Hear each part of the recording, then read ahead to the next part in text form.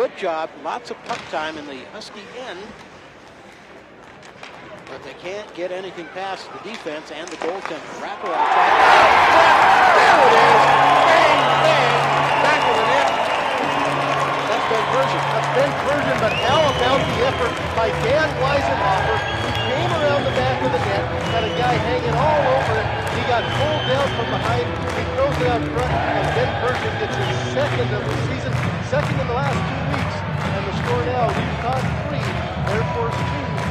146 left in the second.